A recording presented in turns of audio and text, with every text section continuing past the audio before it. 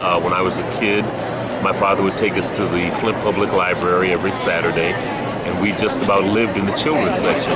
Then, uh, in my early 40s, when I decided to become, become a writer, I was naturally drawn to the library to write, and that's where all of my books are written. Uh, I go to the library to write. I, I, there's something about the energy there that that I love, and just makes me feel very good and very at home.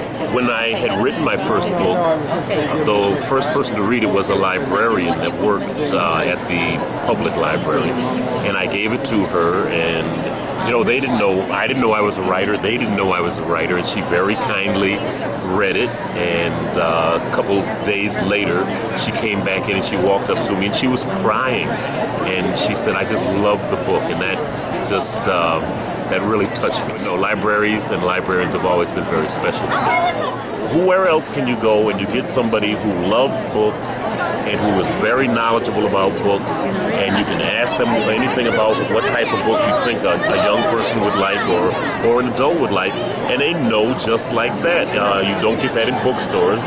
I don't care how personal the bookstore is, the librarian knows much more and has much more uh, resources at her fingertips. Well, actually, I'm working on two books. Uh, one is the, which is just about done, is called The Mighty Miss Malone, and it's a spin-off of Bud Not Buddy. And then I'm also working on a sequel to Elijah of Buxton. And in this one, Elijah is four years older and actually enlists in the American Civil War.